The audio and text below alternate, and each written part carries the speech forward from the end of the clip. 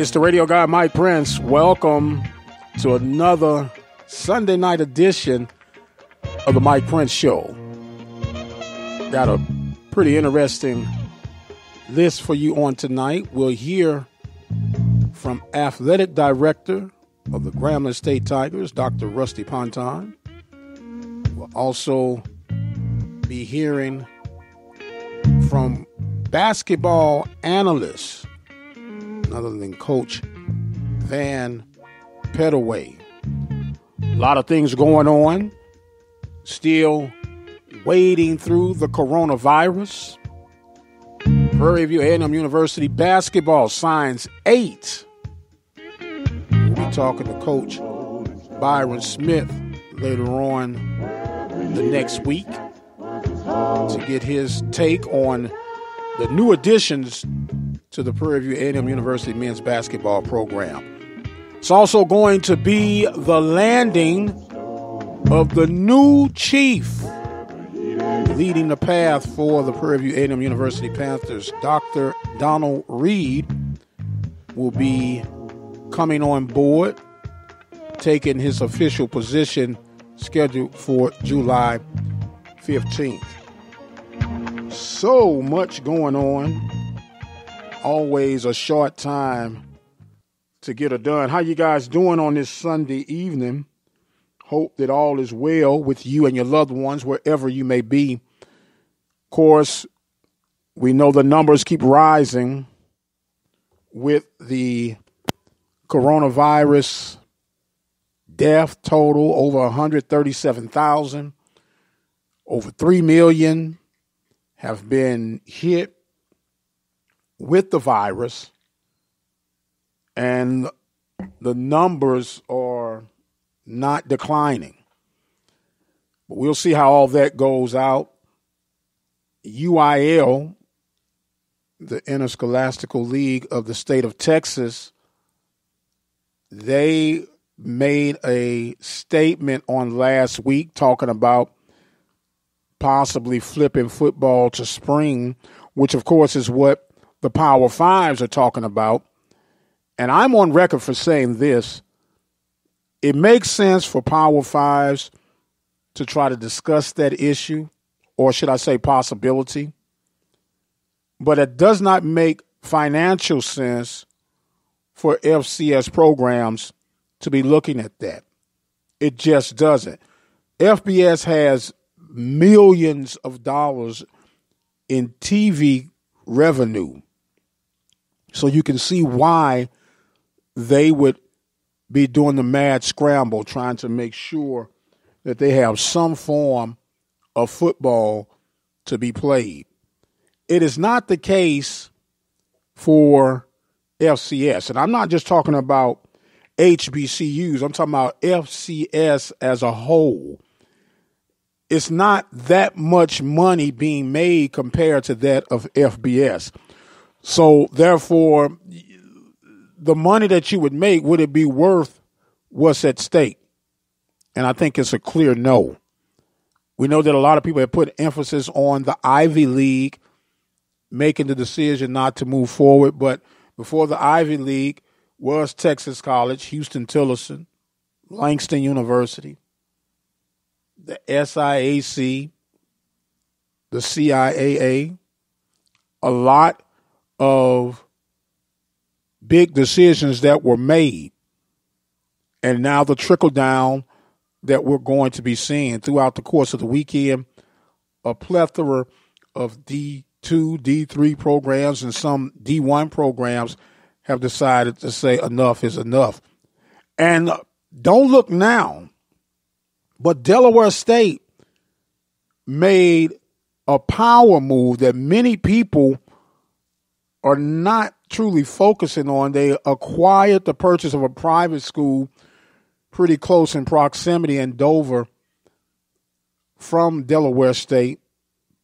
And they picked up, I want to say it was, um, I think about a thousand extra students, property, but they had athletic programs. Is not sure on how they're going to keep the staffs. But what I'm looking at with Delaware State staying to save the MEAC, if the truth be told.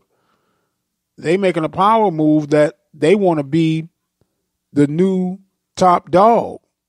We'll see how all that unfolds, but it's going to be a very interesting story to watch. Now, it'll all become official. It's going to take about a year for all the red tape to be cleared, and they'll go ahead and move on down the road. But it is truly, truly a lot of things going on. We had some news about the state fair being canceled, not the state fair classic.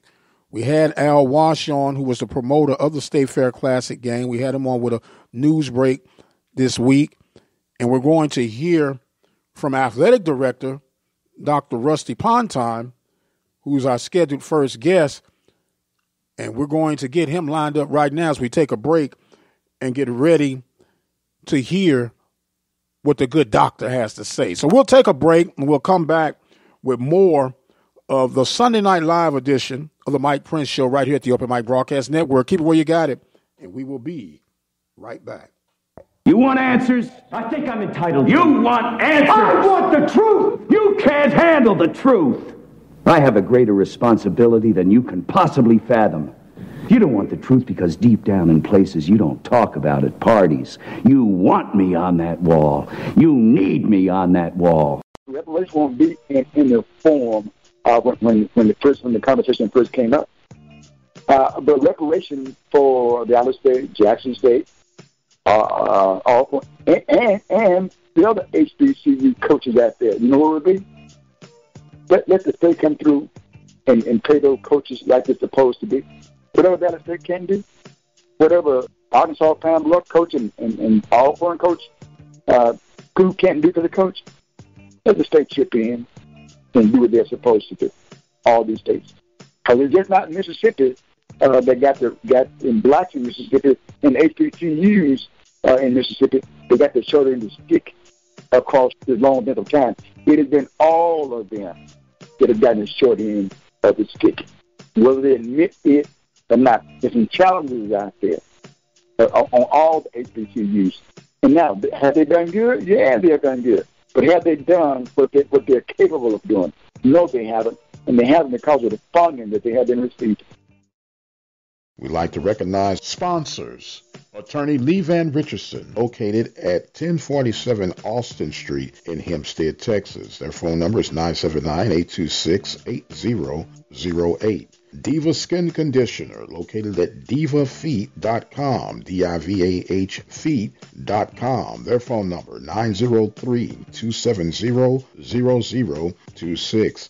Prairie View Athletic Club, serving student athletes since 1986. Their phone number is 936-857-5817. Temple of Refuge Ministries, located in Prairie View, Texas, at 45372 Old Highway 290. Brazos Valley Schools Credit Union. Several locations to serve you. Katy, Rosenberg, Brenham, Bryan, College Station, and Waller, Texas. Their phone numbers toll free 855 391 2149. If you or your business would like to be a part of the sponsorship team here at the Open Mic Broadcast Network, contact us at 832 213 8824. And welcome back, ladies and gentlemen. Sunday Night Live, Mike Prince Show here from the Open Mic Broadcast Network. We are always looking for the next cutting edge interview, and I think we got one lined up for you right now. We are happy to bring back to the show the athletic director for the Grambling State Tigers, none other than Dr. Rusty Ponton. And he told me this is the only time that I can call him doctors when I first introduce him. So, Rusty, welcome back to the show, sir. Thanks a lot, Mike. We appreciate you having me back on. All right. Well, we're glad to have you back on. Uh, it was a lot of uncertainties at the beginning. People heard State Fair and they assumed that the State Fair Classic, which is the game between Grambling and Prairie View on the fourth, third week, fourth week of September was automatically canceled. But Al Watts kind of cleared that up. Can you give us some up to date information on what you've received since the news had broke about the state fair? Yes, um, first all, Al, Al has done a great job of keeping this game, this classic going. And Al had already brokered with the state fair that if, if the state fair did not uh, exist this year, if they did not open, that we would still be allowed to play the game if football is being played in the fall. So the game was never in jeopardy as far as the state fair is concerned. concerned. So as of now, as I said, if football is going to be played in the fall, then we will be playing the game at the state at the Cotton Bowl State Fair Class. Okay, very good. So uh, all ears should hear that officially the game is still on September 26th. So uh, don't hit the panic button just yet. But then on the flip side of that, numbers are not looking good across the nation, huh, Coach? No, not at all. I know here in the state of Louisiana, our governor has frozen us at phase two, which means that we cannot have organized physical contact as far as sports are concerned our numbers were, were spiking, and all of the games that we actually made up until the month of June were lost right after Memorial Day. So um, the governor is very, very serious about making sure that we do everything we possibly can to, to keep the social distancing, wearing a mask. As a matter of fact, he just mandated that all all interactions outside of your home, you must have a mask on. Going into stores, those individuals who work in stores, and anyone outside must have a mask on. So I applaud the governor for putting things in place like this, um, Mike, because obviously we're just not getting it. I mean, the spread is continuous. Um, we have people who are getting sick and people who are dying. So, um, if under these current conditions, if we continue like we are going, it's going to be very, very difficult for us to be engaging in any kind of activities in the fall. You're absolutely right about that, which leads me right into my next question. We know uh, here in Texas, the UIL, which is the one that's the governing body for uh, high school athletics, they were talking about flipping uh, football or fall sports to spring, which I get that for kids trying to extend and, and get into college. I get that. FBS is talking about that. I get that because of the financial windfall that they could miss. But when it comes to FCS, and I'm not just talking about HBCUs, but FCS and even some Group Fives to a degree, would it be advantageous for them to consider playing spring football? Uh, I would say this, Mike. On a personal note, what we need is time.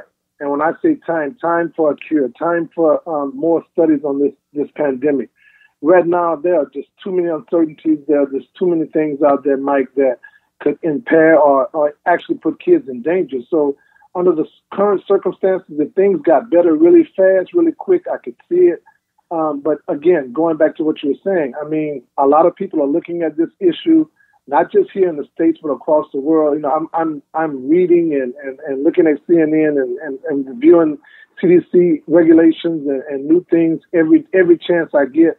So um, the way this pandemic is, is progressing now, with the increase in increase in, in cases, Mike, it makes it, it extremely dismal for us to be doing anything in the fall. Doesn't mean that it can't happen. It's just we're just knowing that we're going to go with what what the experts say is the safest thing for us to do. Absolutely, absolutely. We're talking live right now with Doctor. I'm sorry, I did it again. See, I got to give you the respect with, with Rusty Ponton of the Grambling State Tigers. But here's something that I think people are missing, Rusty. If there is no sports, there are still going to be educational learning with the online avenues, correct? That is correct, Mike. Um, we actually here at State University, we have a hybrid um, class structure. Um, we're actually going to be starting earlier, which will be in August, and actually finishing earlier, which is be, which will be in November. And under that hybrid hybrid um, philosophy, students will have the option of going to class or taking classes wholly online.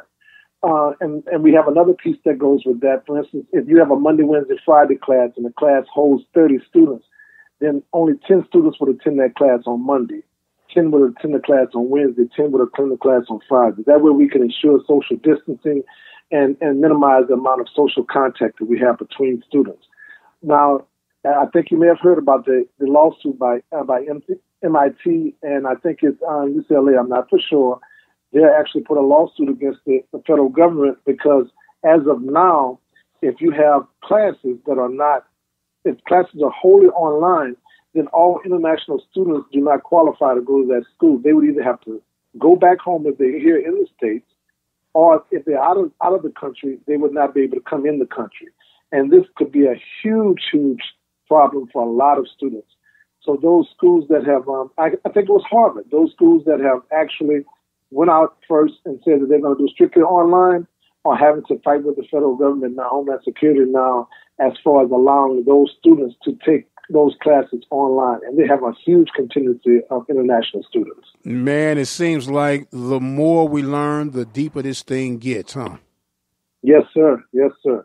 You know, and, and we're not going to make this a, a political conversation. This is about a survival conversation as far as I'm concerned. But I think that people need to know that the, the learning aspect of it is still going to be in place for those who are seeking a higher education.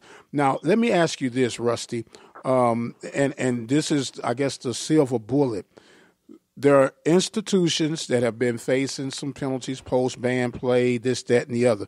Do you, as the athletic director, know or understand that if there is no fall sports and teams that had post ban, um, uh, postseason bans during fall, will that roll over to 2021 or will it go as time served?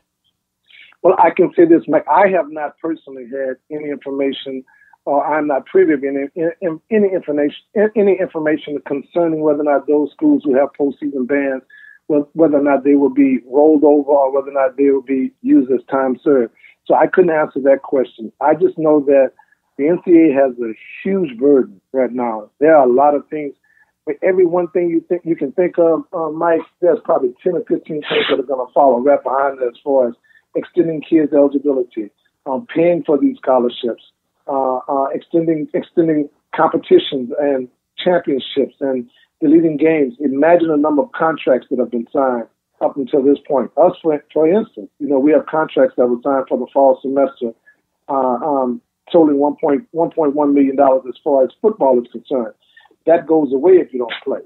Uh, and I think you and I talked about this once before when we talked about the importance of financially, but at the same time, what's more important? What's more important are these student athletes and these students that we're going to be dealing with on a day to day basis.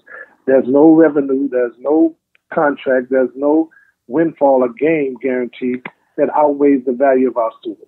Absolutely. Now, in some cases, aren't there insurance policies that you could take out on these guarantee games in case there is a quote unquote act of God? That was that was prior to COVID. You know, uh, right now we're still trying to get COVID as an act of God, which go figure, right? Hmm. I mean, so um, yes, there were were situations that you you have um, you had insurance prior to this, but in this particular case, prior to March, Mike, who would have thought that okay, you'd have something a pandemic of this nature that would totally just decimate the whole the whole system. Yes, sir. No doubt about it. Now, I'm going to try to be as optimistic as I can, Rusty, and look at this as the glass half full. If there is, you know, no sports, on the flip side, you have a golden opportunity for your entire athletic department to get ahead academically for those kids who may have been on the bubble, those kids who may have just been flat out struggling, for them to get back accelerated in the classroom part of it, and then with some type of uh, working out. I know it's not going to be as intense as you would if you were able to compete, but they can come back with a fresh mind, fresh set of eyes on things, and possibly expand uh, some greatness in these athletic departments.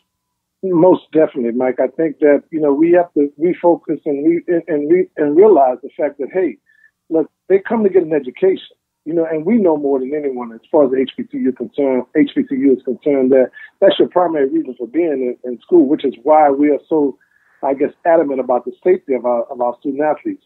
Um, I was asked the question, well, will you play the games in, with an empty stadium?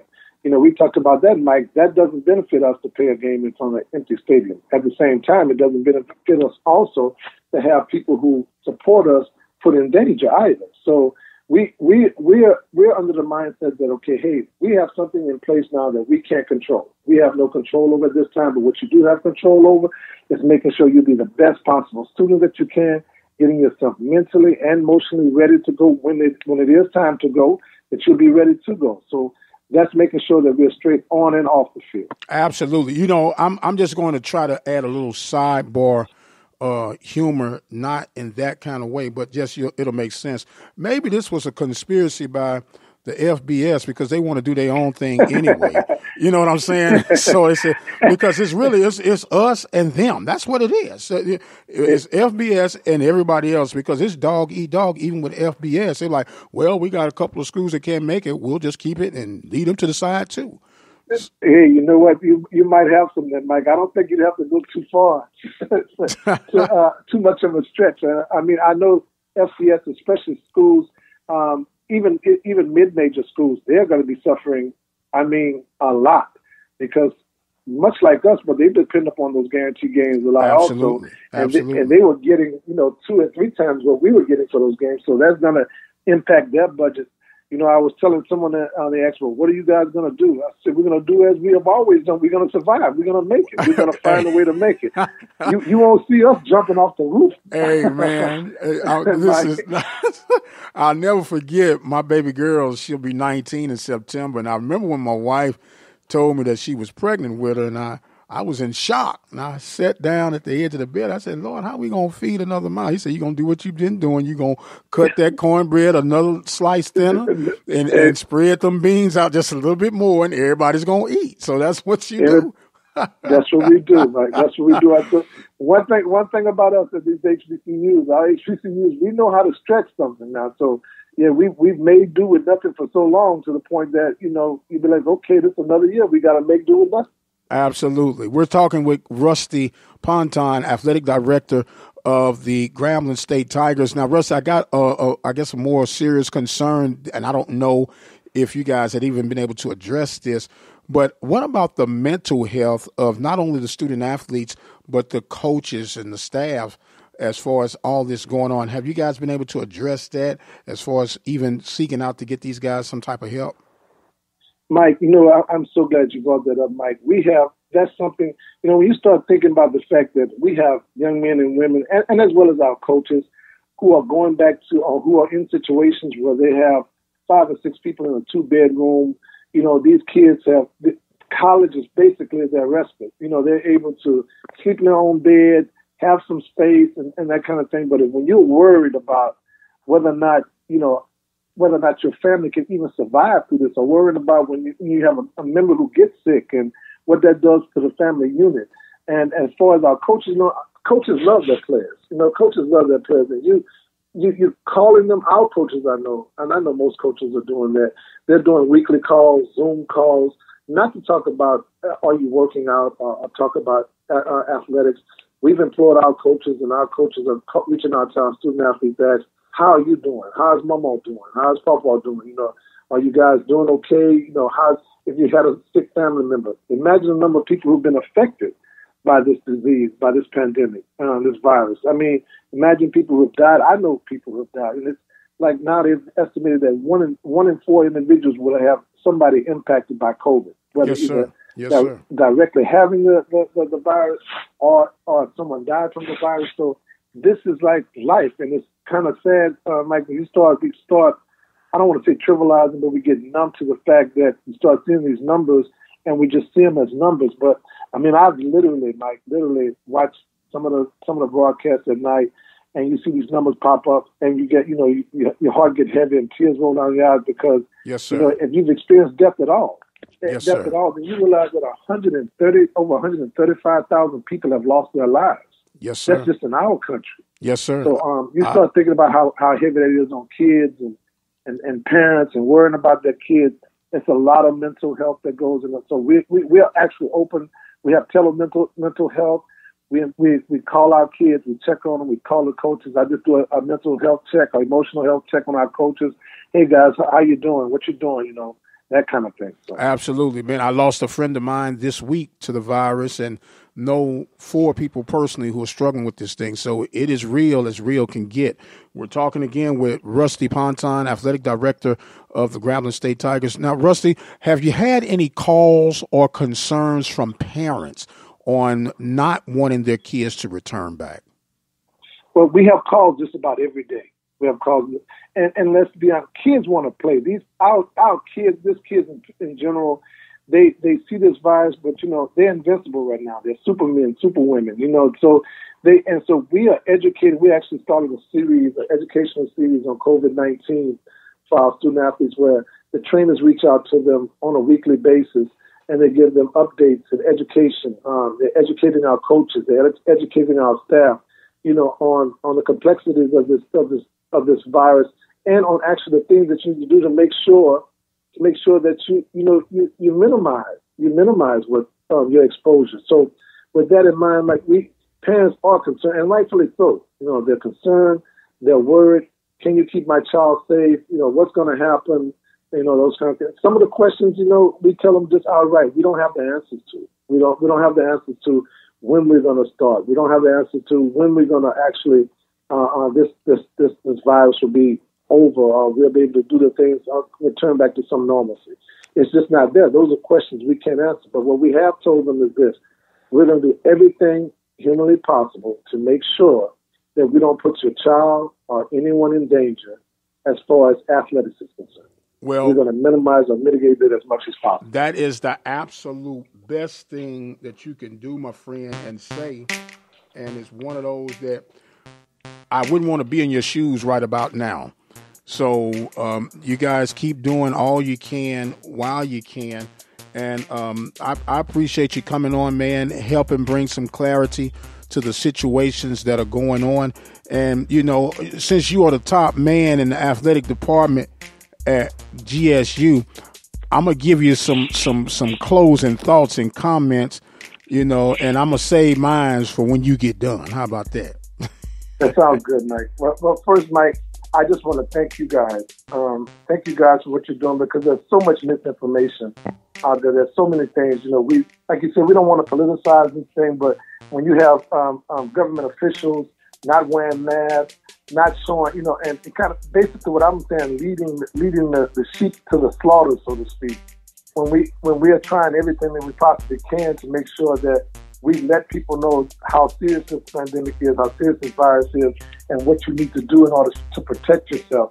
So we, we appreciate what you guys are doing because you are out here. You are our voices. You know, we, we can't reach everyone just in the confines of our own circles as far as the universe is concerned. And we know you're listening, you're listening viewers out there. So we need them to make sure that they pray for us. That's one thing. Continue to support our institutions in whatever way you possibly can, financially, uh, reaching out, just, just helping kids in your area, making sure those kids, making a call, something as simple as that. We just want to, we just want individuals to know that as institutions, we, what we were built on, we're still here for. And that's to make sure that we give every young man and woman an opportunity to get an education. If they have the ability to play sport, if they have the ability to, to exercise those rights on the field or on the court, that we enhance those things and put them in situations to be successful. So with that said, you know, we want to keep our kids safe. We want to continue to work hard, do the things that we need to do to make sure that they're okay, and just basically just be be the, the, the institutions that we, we were meant to be. I couldn't have said it better myself, Rusty. Thank you so much, man. And we're going to keep our eyes, ears, and toes crossed because you know me being a PV guy and all. I got to be able to see that PV Grambling game. It's been a long time, but right now I like where we're standing right now, brother. And I truly, truly appreciate you joining us on tonight. Don't be a stranger. We're going to keep in contact. You stay safe, man. Take care of the wife and the kiddos, and we'll talk to you real soon. All right, my man? Thanks, thanks, Mike. Stay safe, man, and God bless. All right, God bless. That was Dr. Rusty Ponton of the Grambling State Tigers. We are going to take us a break. We got Coach Van Pettaway en route to be with us real soon. You're listening to the Mike Prince Show live on the Open Mic Broadcast Network. Keep it right where you got it, and we will be right back, I guarantee you.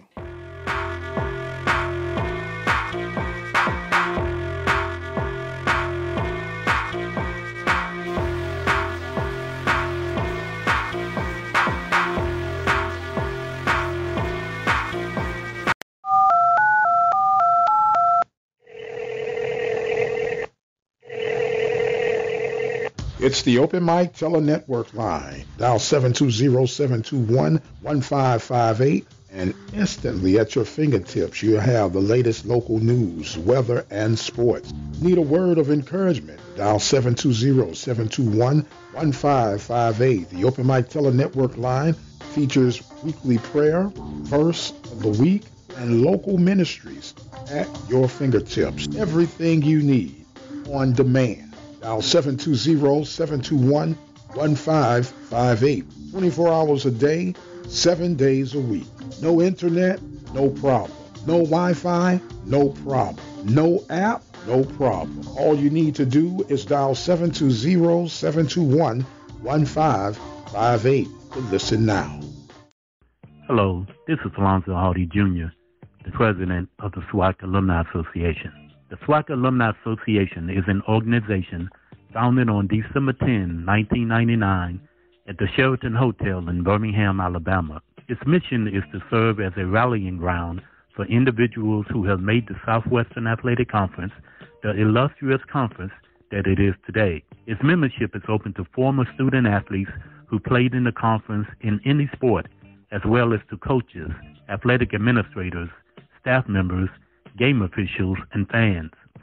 Annually, the association holds a Legends Awards and Roast Banquet or luncheon where it honors individuals with Lifetime Achievement Awards, a Chuck Prophet Wackenmaster Award, and occasionally a Distinguished Service Award. Proceeds from that event help to finance degree completion scholarships for student athletes who have exhausted their playing eligibility at SWAC universities, but who may still need an extra semester or two to complete their college studies. For more information on the SWAC Alumni Association or to get information on becoming a member, you can send correspondence to SWAC Alumni Association, 875 Miller Creek Lane, Newport News, Virginia, 23602. The email address is SWAC Alumni Association at yahoo.com. And welcome back to the Mike Prince Sunday Night Live Show here at the Open Mic Broadcast Network. Dr. Rusty Ponton joined us on the first segment. A lot of good information. That's what it's about, man. Being informed where you can make informed decisions. This next guest of ours, what can I say? He's just one bad dude. I should have played some Shaft. That's what I should. I'm gonna have to get some Shaft music and get it in. We're gonna present to some and introduce to others. A bad mother, watch your mouth, Coach Pettaway. How you doing, Coach? Hey, I'm doing fine, Dr. Prince. How you doing today, man? Man, look, I am doing great, man. I got the basketball guru himself on the line with us. And let me first, before we say anything, let I'm going to let you know how much we appreciate you and what you bring, how the listeners that are connected to the Carlos Brown Show, the Mike Prince Show, and this network appreciate uh, your truthfulness, your your love for the game, your passion for this conference, and it's just an absolute joy, thrill, and honor to know that you're on this. We're on the same team as a coach Pettaway. Well, well, I, well, I thank you for that, uh, Mike. But look, man, the, the thing the thing is that you all are the ones that are bringing it to the public. Uh, you know, we, we're just individual. I'm just an individual, and I just I'm just speaking my mind. I'm speaking it through experience and the the things that I've seen through my uh, career uh, in athletics, uh, from being a basketball coach to an athletic director, that kind of thing. So, uh, you know, just to share what I know and what I have seen, I, I think uh, I think we all have a responsibility or a job to pass it on. And so, if we can pass on anything that's helpful for anybody, then so be it. Well, absolutely. And with that being said, you just walked right into this first question, man. With the experience that you're bringing, uh, we we uh, heard, and we'll talk about that in a little bit.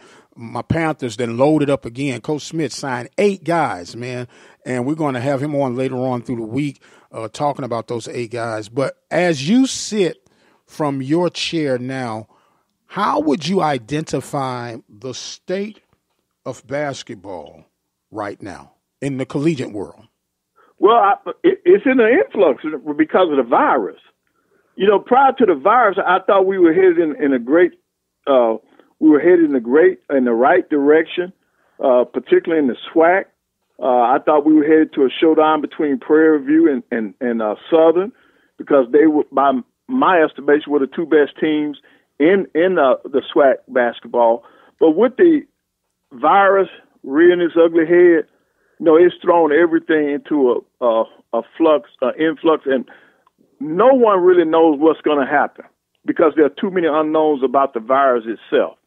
It is it has affected so many lives, and there are so many unknowns that are out there. See, we everybody's you know worried about the physical things that that are not happening. You know whether or not we're gonna have sports and that kind of thing. They better be trying to figure out what are the long term effects of the virus itself on our bodies for those that have contracted it and those uh, who have an opportunity, who may have opportunity to, to end up with the virus too. What what are the long term effects of this? And then what about the mental aspect of it? You know, that there are people, you know, the, when you, when you talk to the health providers and people like this, they're they're talking about all the stress that this virus has put on different families, and and you know it'll affect us more than the other people. Yes, sir. Uh, you know, it's already shown that, but because of our our family situations, it's going to affect us more because most of the times there are more of us in smaller spaces than the others, mm-hmm. and and it's just a big thing to deal with. Yes, sir. So so you you got people worried about the financial side of it. Then at the same time they're worried about their health, their physical health, and then there's also the mental health side of it. So it's a lot of it's a lot of moving pieces to this thing. So basketball in itself, no one can tell you what what it's like because you, you're not having your kids on campus.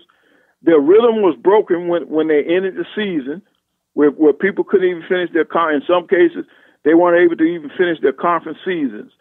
So now you haven't had your kids since March. So that's that's tough.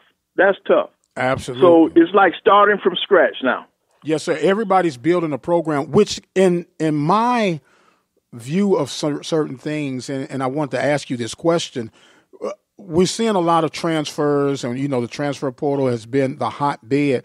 But for some reason, in my gut, and maybe it's because the corona and things have not been in the rhythm as you just mentioned, I'm excited but not overly excited about some of the commits I'm seeing, some of the transfers I'm seeing, because I'm going like, A, will they ever come to fruition? And then B, what it's going to look like with so much time off. Eh, are you understanding what I'm saying about that, Coach? Right. That, that's what I'm saying. And, and that's my point also, because there's been so much, there's been such a long gap in between coaches having their hands on the actual players no one knows what, what they're going to see Be- because now you got to rely on each one of your kids to have that commitment to keep doing the things that you've taught them. That's for your returning players. And then for your new kids, all they can do is, is, is stuff virtual. They, they're not even used to your program. They're not even used to you.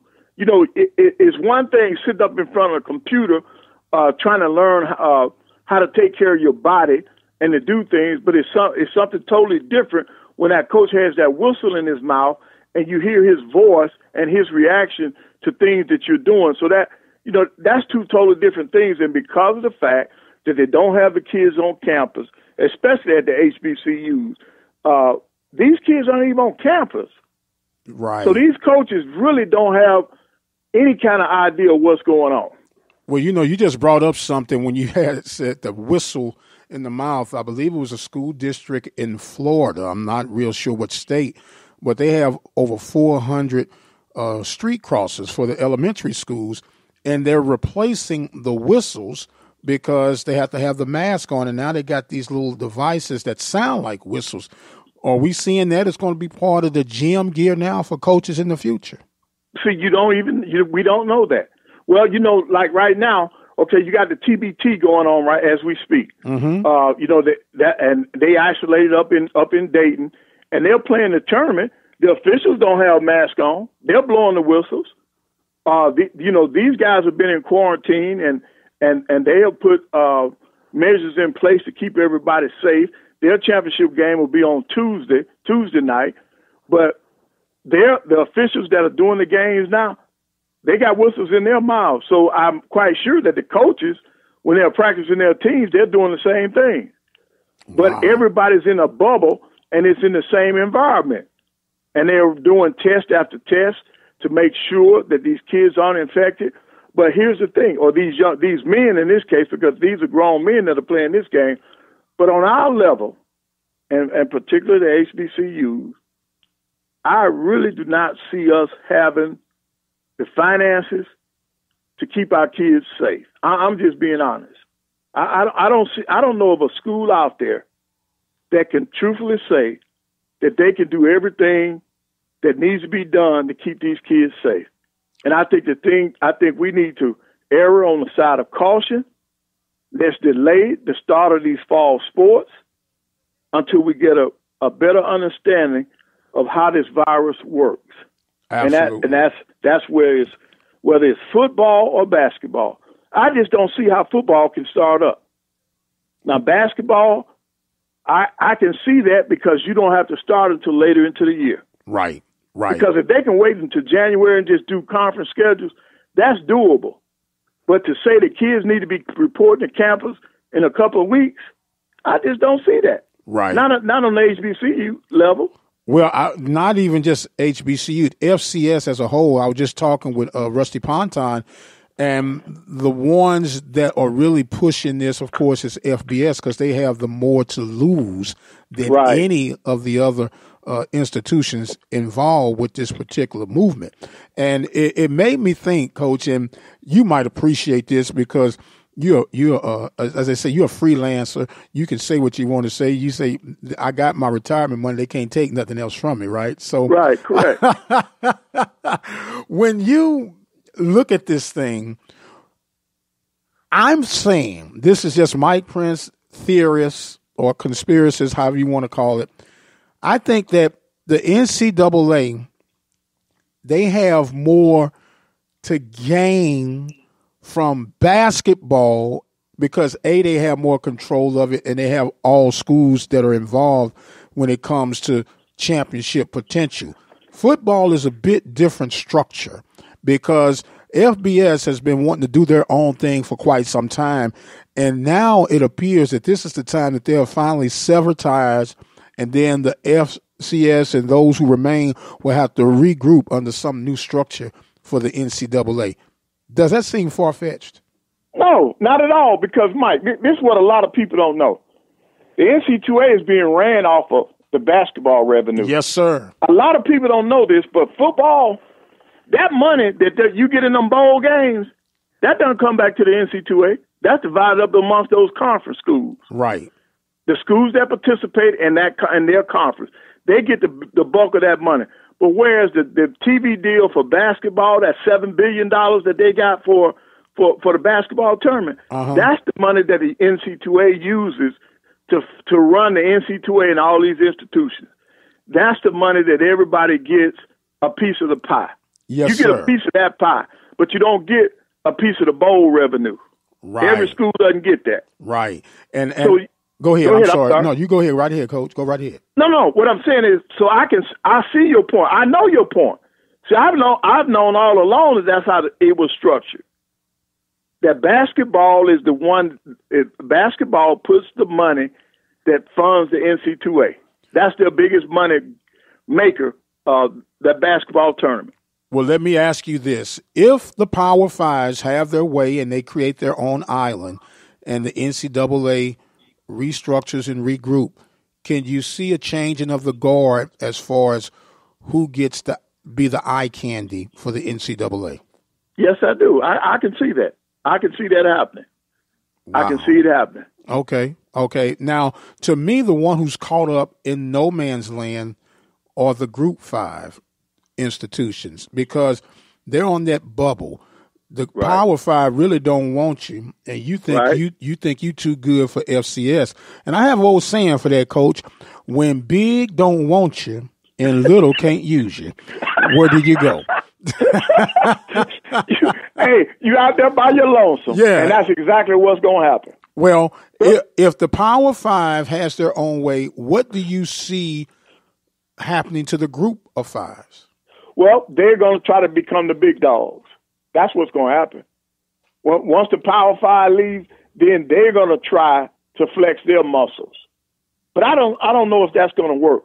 But but in spite of all of this, I've always said I, I would like for the HBCU conferences mm-hmm. to form their own thing, to form their own division.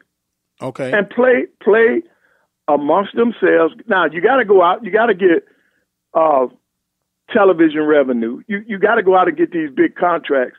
But I think it is doable because now you get to play uh, the teams that aren't in the Power Five. They need people on their schedules. They they will have money. They got more money than any of us have right now anyway. Okay. And, and so you have a better chance of beating them than you do the Power Five schools. Okay, and I could imagine that the paydays wouldn't be as large as they would uh, been accustomed to, and and would they consider it's not even worth the game? Well, no, no, no. They're gonna need the games now. They'll need the games. They, trust me. There all there will always be a place for the HBCUs. See, we're we're their whipping boys. They they they have to fatten their schedules up off of us because they know that that's the way we fund our athletic programs. Uh-huh. We in basketball, we have to go out and play these games so that our respective universities can have this money coming in, this big influx of money, because they're not going to put the football teams out there. See, you you don't see too many of our uh, FCS football teams playing more than one uh, Power Five uh, Power Power Five school per year. You're okay. not going to see more than one. But look how many we play in basketball. Right. See, see, so so now we can continue doing some of that, but on a smaller scale. They will need us to to fulfill their home games. You know, to sell those season ticket packages. They got to get they got to get the 18 uh, from 16 to 18 home games. The only way they're going to get that, they have to bring in schools like us. Okay. Who have to sacrifice our our seasons to get uh, to get that money for our universities. Okay, so do you play hardball to get a little bit increase of that payday? Absolutely. Okay. Absolutely. You okay. hold out to get as much as you can, and the closer it gets to the uh, to the school year beginning, the higher that money will be. Because they, they, they have no, I'm serious. We we play that scheduling game. I've uh-huh. done it before. Okay. Yeah, if, if you hold out you'll get that money because there are certain dates they got to fill. Okay. They got the field and they will give you that money. So you know that, that's why. See, what a lot of people don't know, you can get up to a hundred thousand dollars for one basketball game. Oh, really? Yes.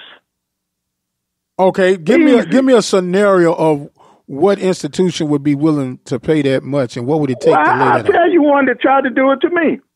The University of Connecticut, they called me, and I told them they lost their mind because I wasn't going to Connecticut. So they called my athletic director. And guess what? He hmm. comes running down to my office and said, Van, we got this. We got uh, Connecticut is willing to, to, to play us and uh, and, and we'll get a $100,000. I said, well, no. They want me on a Tuesday. I'm already playing on Monday. And he asked me, well, you don't think we can do both? I said, heck no. I said, I wouldn't do that to my team. that ain't what and you I said, didn't. coach. That ain't what you said. yeah, you doggone right. You doggone right. That's not what I said. But now, during the time, I'm gonna tell you who took that. Texas Southern. Okay. Texas Southern took that game and they went up there and got beat by I think sixty or seventy points. Wow. Yeah. Now, so see, you don't you don't do that because Texas Southern was in the same scenario, had the same scenario. Mm. Those kids had to travel on game day, play that game. They didn't have time to prepare anything. Okay, just show up that day. Just right. a, just a glorified exhibition game. Right, sacrificial lamb. And okay. that's a true story. Now that's true story. Now there's old brings old Domino saying all money ain't good money. Sometimes you got to pass on it. Thank okay. You. Now with that hundred thousand, coach, does that include covering your airfare, room and board, meals, or is that a separate deal? No, you can. Depending on the school, you can ask for that. The hundred thousand can go just straight to the school, depending on how desperate they are for that game. Okay. Okay. Yeah, but but but sometimes you can say, okay, you're giving me the hundred thousand. Out of this hundred thousand, you all pay for my tickets, you pay for my rooms, you pay for my food. Then you send the university the remaining of that hundred thousand. But I've gotten it to where I can get eighty or ninety thousand, and they still give me rooms and food and, and uh, airfare.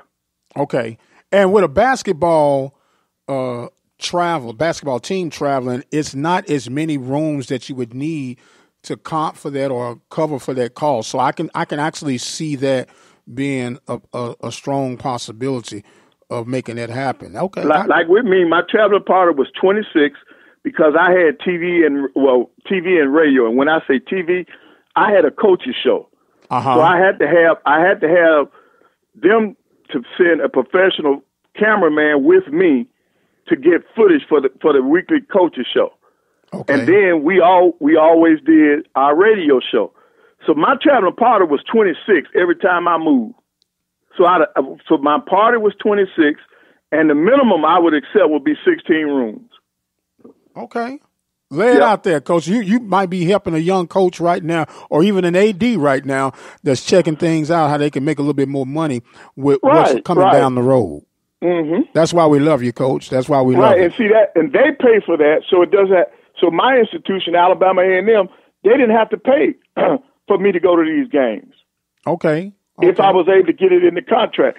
but now you're not, Dr. Prince. Don't get me wrong. Now you're not going to get that in every contract. Uh huh. Well, that's why they call it negotiations, coach. Correct, correct, correct. Every school. See, you got some schools like back in the day.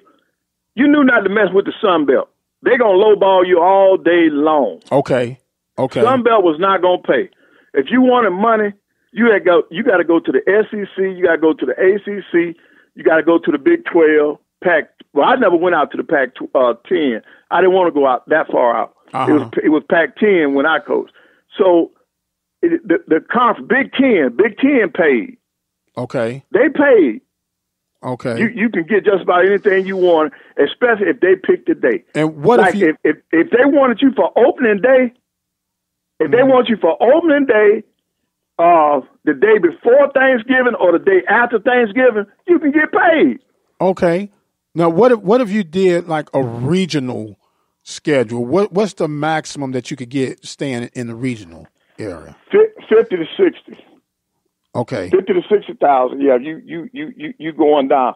Now the the, the lower you go on the, the the structure in terms of the, the conferences, the lower the money is. Right. Right. Right. Yeah. And so now, if you're dealing with a bunch of FCS schools in football, they're not paying big money in basketball.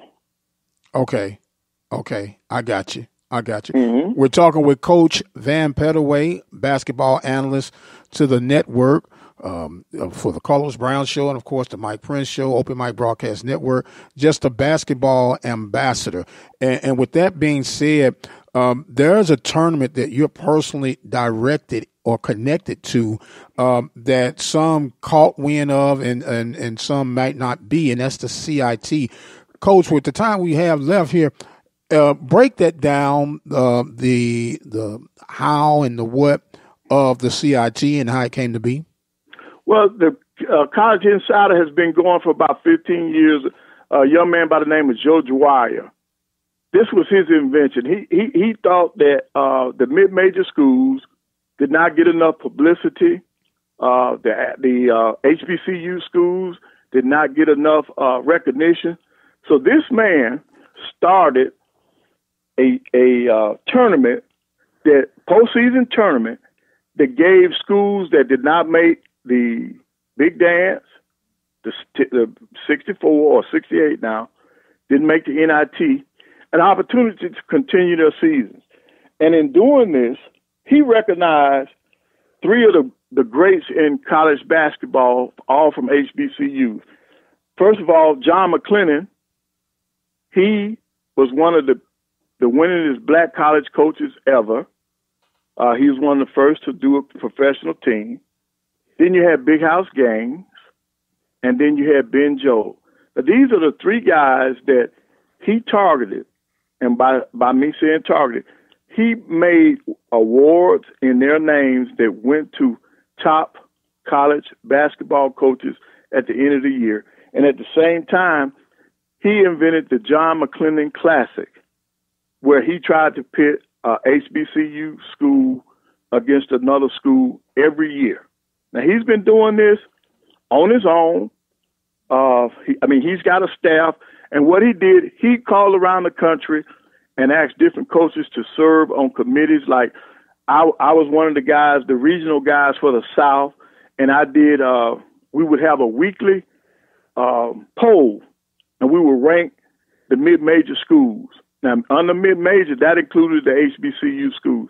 So I would help him rank, uh, come up with a top 20 at one time. Then it went to top 25 schools for each year.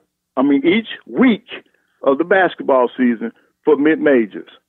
And in order to do that, I had to, you know, know a little bit about some of those teams. And so it, it was a learning experience for me. And I'm on the selection committee uh, for the CIT.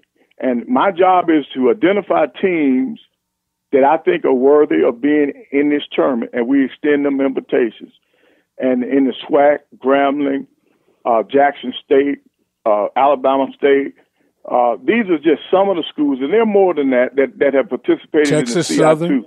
Uh, yeah, I know Texas Southern. I I, I extended an invitation uh, uh, to coach down in Birmingham the last time we played there. So uh, my job is to identify schools, and I, I do the MEAC and and the SI. I mean uh, the uh, the SWAC.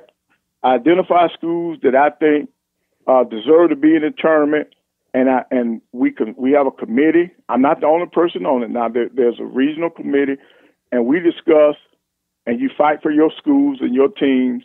And uh, Joe extends the invitation, and they get a chance to play. Jackson State, my first year, uh, inviting them I think they won two or three games in the in the tournament. Okay. Uh, you know, they, we were in the SWAC uh, press conference. They just lost a tough game. Uh, they were in the SWAC championship, and uh, Joe and I knew. I told him before I even got down to Birmingham that they had a great team. Uh, uh, Coach Brent was doing a great job, and I felt like that they they could compete, and they accepted the invitation. We extended the invitation while the kids were up on the stage crying because they thought their season was over with. and then, uh, so we were able to give them some good news that if their athletic director accepted, they had an invite to the CIT, and they went out and won their first two games in that tournament. I think they ended up losing out at uh, Grand Canyon, if I remember correctly. Okay. But but it's been it's been great. Uh, Grambling has been in it, and uh, it, it's a great sounding board. And not only do they recognize teams, they recognize coaches you know, that over the years, uh, Joe has picked coaches of the year for each black conference. Uh, okay. In fact, I, he they they picked me one year uh, as the uh, SWAC coach of the year, and so they they uh, they do a lot for college. Ba- Joe does a lot for college basketball, and he's one of the first people that I've ever met that always from day one he included the little guy, and he considers mid majors as little guys. They're not part of the Power Five. Very now good. they do. Now he also he does recognize the the uh, the some Power Five coaches, but he's the only person that I am aware of that includes HBCUs and everything that he does. You got the Ben Jobe Award. You got the Clarence Big House Gaines Award. You got the John McClendon Award. Uh, this year's recipient was Damon Stoudamire for the Ben Jobe Award. Uh, for Big House Gaines, it was Coach uh, Ben McClellan from Northwestern. For uh, uh, Coach McClendon, it was Joe, Joe Gallo from Merrimack. He received that, those awards. So those are the awards that go out every year. And we would we used to have this big uh, big to do at the Final Fours every year. Now, for the last three or four years, we have not had the big dinner, but the awards still go out. The people are still recognized, and then not only that, they recognize players also. Yes, so it's sir. not just the coaches; it's the players. It, it, it's a great thing, and, and and people can read about it. It's, it's collegeinsiders.com. And like I said, Joe Dwyer is the uh, he he he he started this thing, and he does an outstanding job. And uh, you you'll see the co- different committees. Uh, like I said, I'm on uh, the selection committee, and so I've been there for years. And like I said, we used to do the polls, uh, the weekly polls that a lot of people didn't know were out there, but we did the mid major polls. So it, it's great for college basketball. He's a great guy, and he puts a lot into it. And he's all he's always like the SWAC and the MEAC. Well, and my hat's off to him. My hat is off to you, my friend, because just as always, you are a walking encyclopedia, uh, full of energy, full of wisdom, and we truly, truly appreciate you. But we're going to have to uh, get you back on here, Coach, so we can continue going a little bit deeper.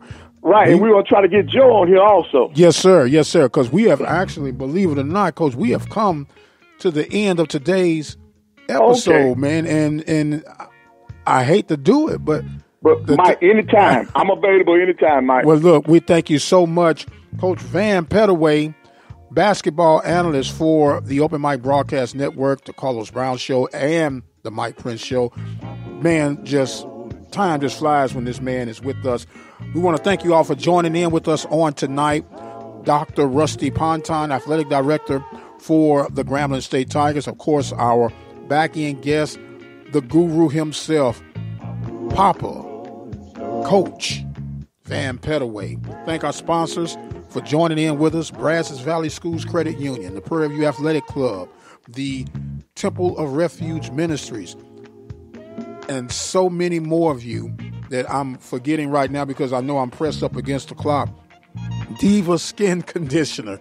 Also, want to thank the good people from the Farmers Insurance of Hempstead, Texas, Helping Hands, Lawn Service, and you, the listener. The clock on the wall tells me I've got to go. I am the radio guy, Dr. Mike Prince. As always, you guys be blessed, and we'll see you on the other side.